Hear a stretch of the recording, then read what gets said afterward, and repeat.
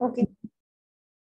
So today we will be doing the next topic of the chapter carbon and its compound that is the allotropy. Right? This is the last topic. After that we will be starting the next chapter. Okay? तो allotropy करते हैं आप discuss.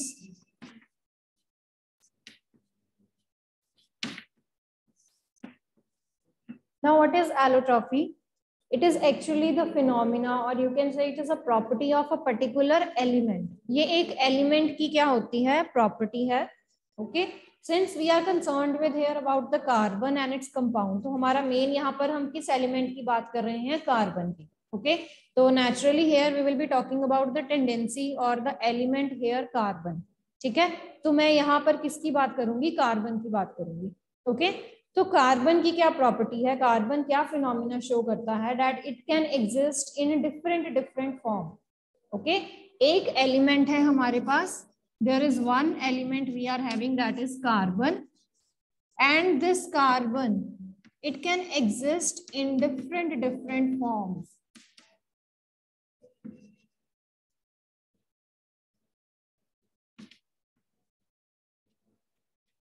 okay? These different forms of carbon these different different forms of carbon we called such forms as allotrophic forms ये क्या बन जाती हैं इनकी एलोट्रॉफिक फॉर्म्स बन जाती हैं इस फिनोमिना फिनोमिना को या इस प्रॉपर्टी को हम क्या कहते हैं allotropy okay so allotropy it is the property of the carbon right specifically I am showing here carbon but आप ये भी कह सकते हो कि property of any element to exist in different different forms right so this phenomena this property we called such property as allotropy okay और यहाँ पर ये जो कार्बन की डिफरेंट डिफरेंट फॉर्म्स हमारे पास आ रही हैं we called such forms as allotropic forms now the most important characteristic of these allotropic forms is that they only differ in physical properties. They differ in the physical properties ये physically different होती हैं। Physical में इनकी shape आ सकती है, इनकी appearance आ सकती है। ओके देयर डेंसिटी तो ये इसमें डिफर कर रही हैं differ in their physical properties about their densities होगी ठीक है? टेक्सचर कैसा है, देखने में कैसी है ट्रांसपेरेंट है ओपेक है right so all these properties they mark the physical properties तो ये फिजिकली डिफरेंट हो जाती हैं। But they are same in their chemical properties. तो केमिकली तो सेम ही होंगी क्योंकि सब में जो मेन पीछे है element that is carbon okay तो केमिकली तो इलेक्ट्रॉन्स का रोल है see whenever we are associated with the chemical behavior of any of the substance we are actually talking about its electrons तो अगर मैं केमिकली देखूँ तो सब में ही कार्बन है और कार्बन सब में सेम है it is having four electron so that's why chemically these all are same but they will be differ in their physical appearance okay so allotropy और allotropic forms they are the different different forms of carbon okay the carbon it can exist in different different forms but these all forms they are having different physical properties but they are chemically same Okay. Now, according to this, the carbon, it can show the three allotrophic forms that you have commonly heard. Diamond, graphite, and third नहीं आपने सुनी होगी that is fullerenes. Okay. The third one is fullerenes. F U L L E R E N E S. Okay. तो carbon की ये तीन जो हैं वो एलोट्रॉफिक फॉर्म्स हैं diamond graphite and fullerenes so we will be discussing in detail about these forms. So let's start with the diamond now. सबसे पहले डायमंड के साथ स्टार्ट करते हैं।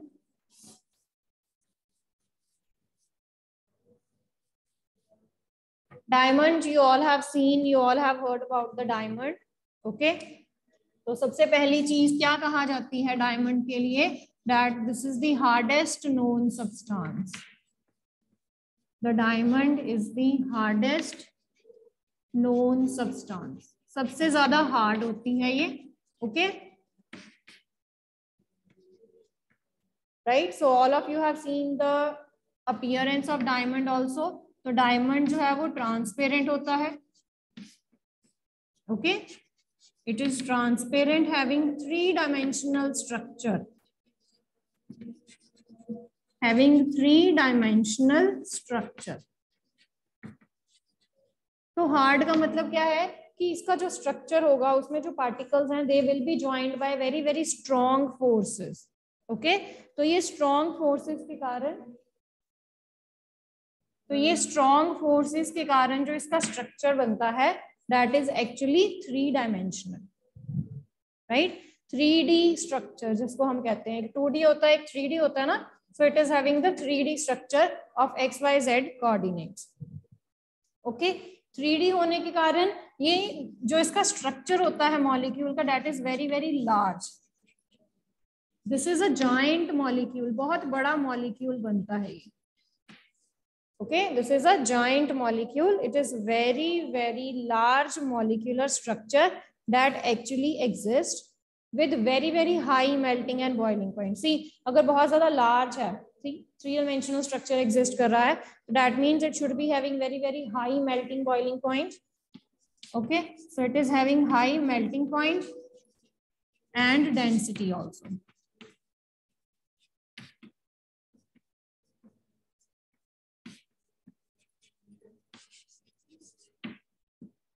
Okay, so these are all the characteristics of the diamond, right? बाद में उसकी electrical conductivity वाला पॉइंट है तो I be explaining that point later on right कि कंडक्टिविटी के कारण वो रिएक्टिव है कि नहीं है कंडक्टिव है कि नहीं. तो ये दोनों पॉइंट्स जो है वो मैं बाद में डिस्कस करती हूँ when we will be seeing it structure तो diamond you all are familiar hardest known substance है ट्रांसपेरेंट होता है बिल्कुल ठीक है? थ्री स्ट्रक्चर है यहाँ पर बहुत बड़ा मॉलिक्यूल बन जाता है थ्री डायमेंशनल स्ट्रक्चर के कारण. अगर बहुत ज़्यादा बड़ा मॉलिक्यूल बन जाता है that mean they are having strong forces of attraction between them so due to this reason they are having high melting point and this is having very very high density is this clear now let's talk about the structure of the diamond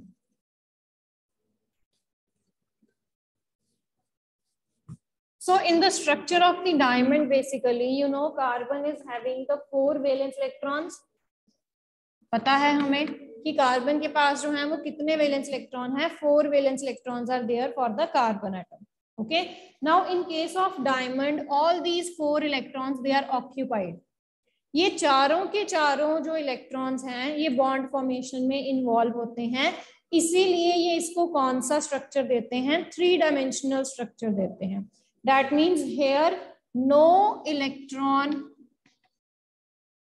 is left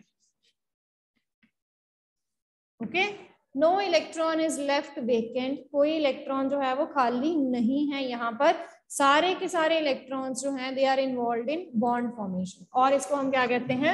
All electrons are all the four क्योंकि carbon के पास चार electrons हैं all four electrons are involve in bond formation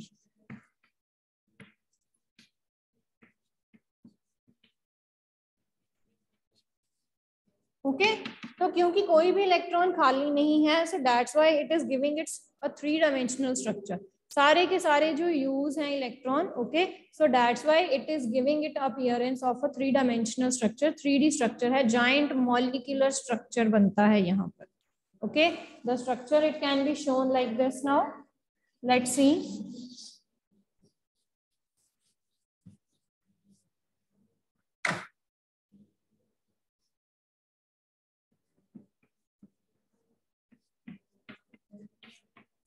I be showing one part of this molecule ठीक है? मैं इस पूरे स्ट्रक्चर का एक छोटा सा पार्ट आपको दिखाऊँगी and you will be assuming that the whole molecule is build like this ठीक है? तो मैं उसका एक छोटा सा आपको एक पार्ट दिखाऊँगी, एक स्ट्रक्चर एक मोनोमर दिखाऊँगी, जिसको आप बार बार रिपीट करते जाओगे तो ये आपके पास पूरे का पूरा स्ट्रक्चर जो है वो आ जाएगा okay the structure it looks like this okay तो ये हेक्सागनल स्ट्रक्चर है आपके पास यहाँ पर like this, we will be involving all these carbon. ये सारे के सारे कार्बन जो हैं, वो यहाँ पर ऐसे इन्वॉल्व होते हैं। Further the structure it continues like this तो जैसे मैंने अभी बताया कि मैंने ये आपको एक मोनोमर दिखाना है यहाँ पर ओके okay? बाकी जो आपके सारे स्ट्रक्चर्स हैं they will be attached like this in the similar way तो again if we are going to repeat the structure we will get a structure like this ठीक है? राइट सेम वे से अगर मैं इस टर्मिनल वाले carbon को repeat करूँगी सी ये वाला आगे रिपीटेड होंगे, ठीक है? दे शुड बी ज्वाइन ठीक है? लेफ़्ट राइट ऊपर, नीचे से हर जगह से ये ज्वाइंट है। So you will be assuming that they all are joint okay ये देखो if they are joint the structure again will be like this तो आपके पास अगेन ऐसा स्ट्रक्चर आएगा, ठीक है?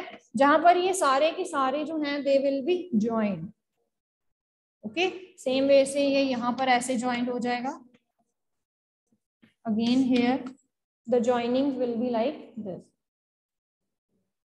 similarly this will be joint now if I see the structure ठीक है? जैसे मैंने अभी आपको बताया कि जो कार्बन हैं okay the carbon atom they are joint in this structure that are having no valence electrons left कोई भी इलेक्ट्रॉन जो है वो खाली नहीं है they all are involved in the bond formation right if i see this carbon देखो ये वाला कार्बन देखो स्पेसिफिकली इस कार्बन का एक दो तीन चार चार इलेक्ट्रॉन्स ऑक्यूपाइड हैं can you see all the four electrons of this carbon they are occupied similarly if i see this carbon one two three four again ये वाला कार्बन देखिए one, two, three, four okay तो in the same way जब ये पूरे का पूरा structure यहाँ से यहाँ से, ऊपर से, नीचे से, ये पूरा जो है वो थ्री डायमेंशनली ज्वाइन होगा तो यहाँ पर हर एक कार्बन एटम जो है each and every carbon atom it will be joined by four bonds तो यू कैन सी हेयर हर एक कार्बन एटम जो है वो चार चार बॉन्ड जो है वो फॉर्म कर रहा है। वन, टू, थ्री, फोर, जो नहीं भी आपको यहाँ पर नज़र आ रहे हैं जब ये पूरा स्ट्रक्चर आगे पीछे से कंप्लीट होगा, ऊपर नीचे से तो आपके हर एक कार्बन जो है it will be joint by four bonds with the other carbon atom okay so the structure तो आप यहाँ से देख सकते हो, अगर मैंने इतना सा स्ट्रक्चर बनाया है so it looks like a very very big molecule तो इमेजिन द सिचुएशन और इमेजिन द स्ट्रक्चर कि ये सारा आगे पीछे से, ऊपर नीचे से, हर तरफ़ से कार्बन के साथ ज्वाइंट है। Okay? So can you imagine the three dimensional giant molecular a large molecular form of the di diamond? Okay? So this is actually the diamond structure where all the four electrons they are joined by a single bond. Okay? Where all the four electrons of the carbon the valence electrons of the carbon they all are joined. Okay?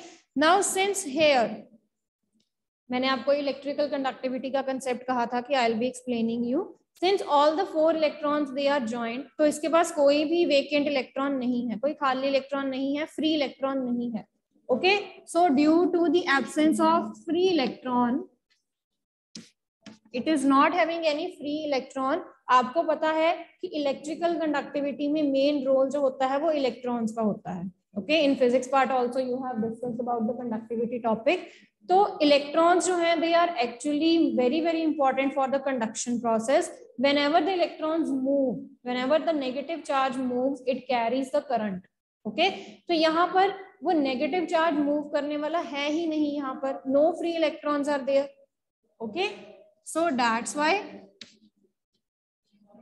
it is bad conductor of heat and electricity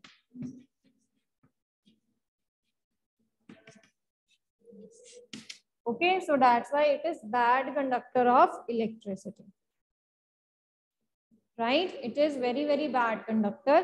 अब दूसरी चीज़ यहाँ से हम ये भी कहते हैं कि ये जो कार्बन की फॉर्म है this diamond form of the carbon it is chemically unreactive react भी नहीं करता है जल्दी किसी के साथ। अगेन रिएक्टिविटी वाला पॉइंट भी जो है that solely depends on the electron electrons होंगे कोई खाली चीज़ पड़ी है, उसके पास फ्री इलेक्ट्रॉन्स होंगे, वो इलेक्ट्रॉन्स जो हैं, वो तभी किसी के साथ रिएक्ट करेंगे। But here you can see in the diamond structure it is not having any free electrons so reactivity is very very less okay so if we are going to state some of the characteristics of the diamond so that is transparent hardest known substance okay three dimensional network structure है, जो इसको एक बड़े ही large molecule में लेके जाता है। ओके मॉलिकुलर स्ट्रक्चर इसका बहुत बड़ा है। that is a bad conductor of electricity and that is chemically unreactive okay all these properties they are for the diamond now coming to the next is graphite अब next पे चलते हैं जो second allotropic form है carbon की that is graphite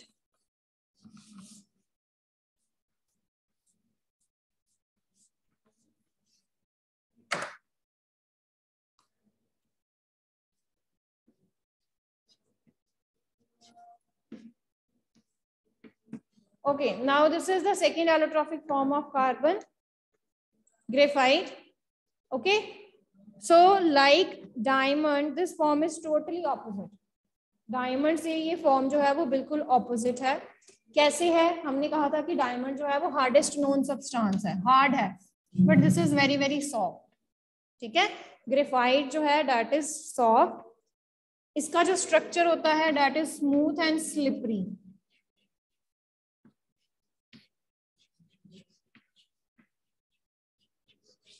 okay वहाँ पर हमने ये कहा था कि वो थ्री डायमेंशनल स्ट्रक्चर बनाता है। रिजिड स्ट्रक्चर है, बहुत ही you can say a solid structure is there okay rigidity है उस स्ट्रक्चर में सॉलिड है। Okay but here it forms a layered structure इस स्ट्रक्चर में क्या है? लेयरिंग्स हैं। You will be having layers above and below. Okay? So, that is having a layered structure and these layers, they can slip over each other.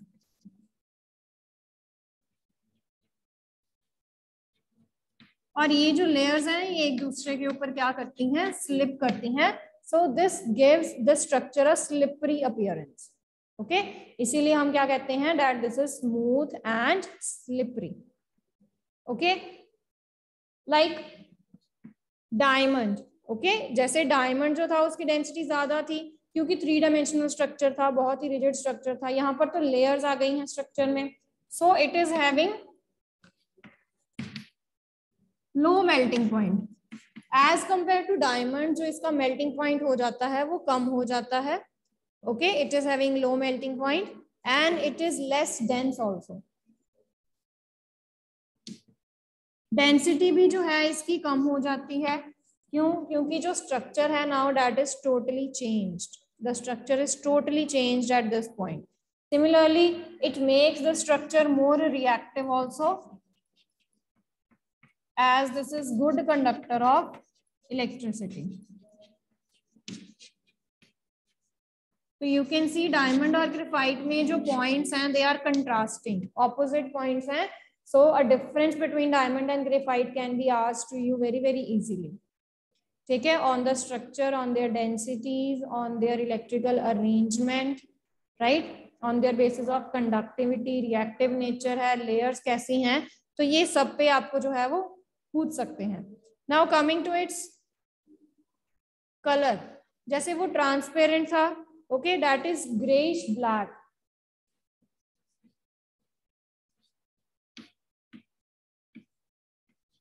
that was off white colour diamond जो था उसका white colour था ठीक है इसका greyish black colour है diamond was transparent it is opaque okay it is opaque it is not transparent you can't see through this graphite okay now if we talk about their structure i am saying that they are good conductor of electricity they are reactive how that means here they should be having electrons free So that's why they will be forming the good conductors and free electrons, they will also contribute towards a reactive nature. तो अब इसका structure देखते हैं। Again like diamond जैसे हमने वहाँ पर hexagons बनाए थे ठीक है? सिक्स स्ट्रक्चर्स बनाए थे सिक्स कार्बन वाला। तो इसका भी जो है structure that is also layered structure of hexagonal rings तो यहाँ पर भी हमारे पास हेक्सागोनल रिंग स्ट्रक्चर्स आते हैं। जहाँ पर ये छह कार्बन जो है वो हेक्सागन की फॉर्म में ज्वाइंट होते हैं। Okay so you can see the six carbon one two three four five and six so these are six carbon but since I have told you that this is a layered structure तो पहले हम एक layer बनाएँगे। Okay we will be forming one layer so in this way in this way the structure will be completed तो ऐसे ही हमने सारी की सारी जो है वो लेयर्स बनानी है विच कंटेन्स दी स्ट्रक्चर्स तो हेक्सागोनल रिंग्स है यहाँ पर कार्बन की तो ऐसे ही आपका स्ट्रक्चर जो है वो कुछ विजुअलाइजेशन में आएगा। Okay so then the next layer right so this I have formed the first layer ये मैंने फ़र्स्ट लेयर बनाई है। In the same way there should be the second layer ठीक है? ऐसे ही जो है वो आपकी सेकेंड लेयर आएगी, इसके नीचे। This hexagonal ring structure So, let's draw in the same way the second layered structure.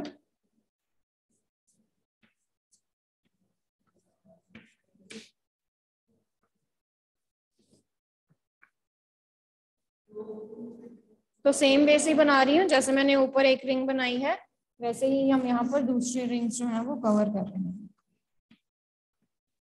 Okay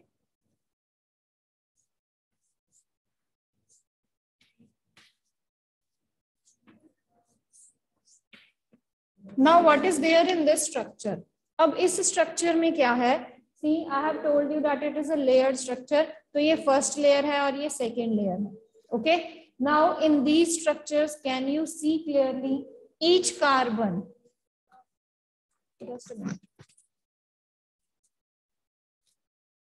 see if i talk about this carbon this has formed three bonds one two three If I talk about this carbon, again this carbon has formed three bonds, one, two, three. अगर मैं इस carbon की बात करूं ठीक है again one two and this is the third तो हर एक कार्बन ने कितने बॉन्ड्स बनाए हुए हैं? दूसरे कार्बन के साथ थ्री बॉन्ड्स अगेन मैंने ये आपको एक विजुअलाइजेशन के लिए स्ट्रक्चर बताया है। ऐसे ही ये रिंग्स जो है, वो आगे पीछे जो लेयर्स हैं दे आर ज्वाइंट ओके तो हम सिर्फ़ सेंटर वाले पार्ट को कंसिडर करेंगे, जहाँ पर हमें एक्चुअली विजुअलाइजेशन में वो चीज़ नज़र आ रही है। Okay similarly if I talk about this carbon अगर मैं इस कार्बन को देखूँ again one two and three ठीक है? तो इसने भी तीन बॉन्ड बनाए हुए हैं। अगर मैं इस कार्बन को देखूँ again one two and three similarly जब आप इस कार्बन को देखोगे तो ये कार्बन के दो बॉन्ड्स आपको दिख रहे हैं। बट थर्ड बॉन्ड जब ये रिंग कंप्लीट होगी यहाँ पर, ऐसे। Okay okay? तो ये इसका थर्ड बॉन्ड आ जाएगा। Right so in this, we can see that all the carbon atoms, they have formed three bonds with the other carbon atoms. That means in all these structure, three electrons are used. इस पूरे structure को बनाने के लिए कितने electrons use हो चुके हैं? कार्बन के चार में से तीन इलेक्ट्रॉन्स जो हैं, वो यूज़ हो चुके हैं। We are still left with one electron and that is free electron तो यहाँ पर एक कार्बन का एक इलेक्ट्रॉन जो है that is left for each and every carbon atom हर एक कार्बन का एक एक इलेक्ट्रॉन जो है that is free that is vacant that is left which can actually lead to the conductivity, okay? And due to the presence of this one single free electron, the graphite structure is highly reactive, ठीक है? तो diamond के comparative में ये जो है वो reactive है। नाउ सेकंड थिंग मोर अब एक चीज़ हम यहाँ पर और देखते हैं कि ये जो फ्री इलेक्ट्रॉन्स हैं, जैसे मैंने अभी आपको बताया कि इसका लेयर स्ट्रक्चर है, और ये लेयर जो है वो एक दूसरे के ऊपर स्लिप करती हैं। That means these layers will be joint ठीक है? अगर वो एक दूसरे के ऊपर स्लिप पास्ट कर रही हैं that means they should be joint ठीक है? तभी एक के ऊपर दूसरी लेयर जो है वो आ रही है। So the fourth bond, the fourth electron, it is actually used in making the weak bonds with the layers. तो जो फोर्थ इलेक्ट्रॉन है, वो दूसरी लेयर्स को होल्ड करवाने में हेल्प हो रहा है यहाँ पर।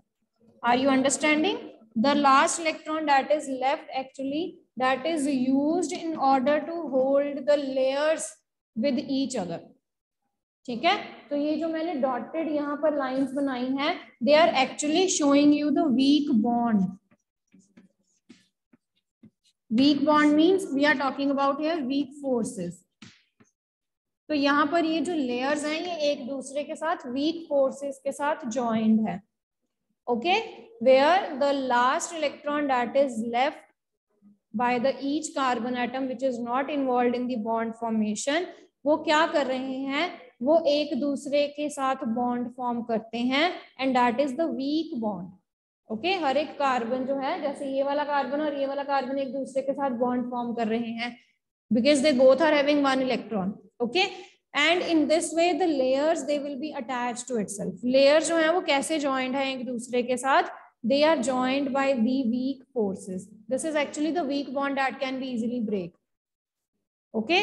तो ये बॉन्ड जो है, वो जिस मर्ज़ी टाइम पे आप तोड़ सकते हो okay now if this bond breaks then that marks electrical conductivity but ये जो बॉन्ड मैंने सॉलिड के साथ बनाए हैं they are actually very very strong bonds तो ये बॉन्ड्स नहीं टूटते हैं easily but the bonds that are shown by these okay जो डॉटेड लाइंस के साथ दिखाए गए हैं, ये बॉन्ड्स जो होते हैं वो वीक है क्योंकि इंस्टेंटेनियसली बनते हैं ये, ठीक है?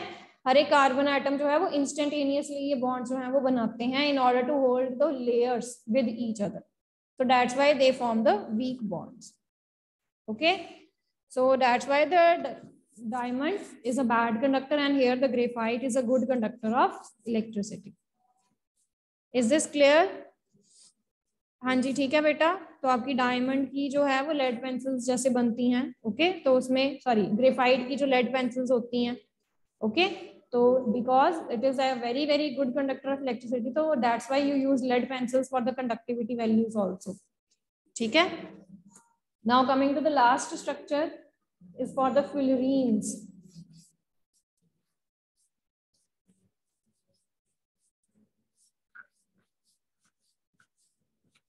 The last structure is for the fullerenes.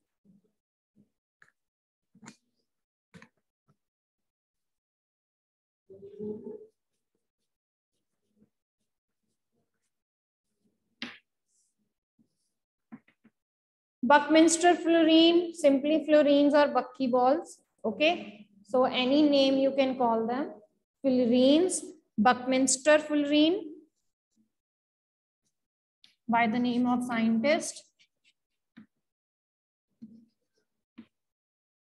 Or you can call them buckyballs also.